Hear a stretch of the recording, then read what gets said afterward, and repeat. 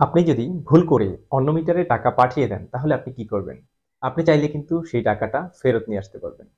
দেখুন, আপনি ভুল করে যেই নাম্বারে অথবা যে মিটারে টাকাটা পাঠিয়েছেন, আপনি কিন্তু জানেন না সেই মিটারটা কোন এলাকার মিটার এবং সেই মিটারের গ্রাহককে, গ্রাহকের নাম অথবা কন্ট্যাক্ট নাম্বার আপনি কিন্তু কিছুই জানেন না।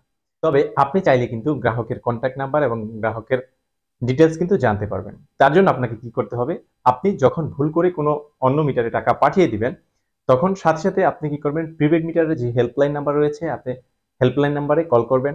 অথবা আপনার যে এরিয়ার পল্লী বিদ্যুৎ অফিস রয়েছে, আপনি সরাসরি পল্লী বিদ্যুৎ অফিসে যোগাযোগ করবেন। এবং সেখানে আপনি বলবেন যে, আমি আমার প্রিপেড মিটারে টাকা রিচার্জ করতে যেয়ে ভুল করে অন্য একটা নাম্বারে অন্য একটা মিটারে টাকা পাঠিয়ে দিয়েছি। তো আপনি ভুল করে যেই নাম্বারে টাকাটা পাঠিয়ে দিবেন, সেই নাম্বারে টাকা চলে যাওয়ার পরে তো অবশ্যই সেই নাম্বারটা থাকবে আপনার কাছে এবং কত টাকা আপনি রিসার্চ করেছেন, সেই একটা ডকুমেন্টস তো আপনার কাছে থাকবে। আপনি সেখানে সেই ডকুমেন্টসটা দেখাবেন। আপনি যেই নাম্বারে ভুল করে টাকা পাঠিয়ে দিয়েছেন, সেই নাম্বারটা দেখাবেন, মিটার নাম্বারটা। এবং দেখানোর পরে ওনারা কি করবে, সেই মিটার নাম্বারটা নেয়ার পরে এটা হচ্ছে অনলাইনে তারা চেক করবে। চেক করার পরে তারা দেখবে যে এটা কোন এলাকায় রয়েছে এই প্রিপেড মিটারটা এবং এটা গ্রাহকের নামটা কি। আপনাকে তারা সেইখান থেকে গ্রাহকের কন্ট্যাক্ট নাম্বারটা দিবে।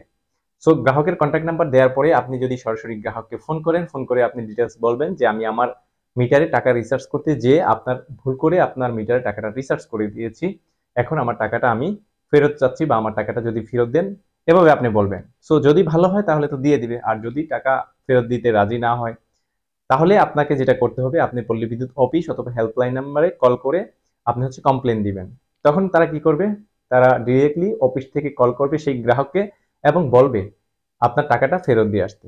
অবশ্যই আপনার টাকাটা আপনি ফেরত পাবেন। কারণ যখন অফিস থেকে সেই গ্রাহককে কল করা হবে, যদি গ্রাহক আপনার টাকাটা আপনাকে ফেরত না দেয়, তাহলে কি করবে? অটোমেটিকলি অফিস সেই প্রিপেড মিটার থেকে কিন্তু অটোমেটিকলি টাকাটা কেটে নিয়ে যাবে। যদি আপনি সঠিক সময়ে অনলাইনে হোক অথবা অফলাইনে হোক, আপনি যদি পল্লী বিদ্যুৎ অফিসে যোগাযোগ করতে পারেন এবং কমপ্লেন দিতে পারেন, তাহলে আপনি আপনার ভুল করে যেই অ্যামাউন্টটা বা যেই টাকাটা যে অন্য মিটারে পাঠিয়ে দিয়েছেন, সেটা কিন্তু আপনি কমপ্লেন করলে, অভিযোগ করলে কিন্তু আপনার টাকাটা আপনি ফেরত পাবেন।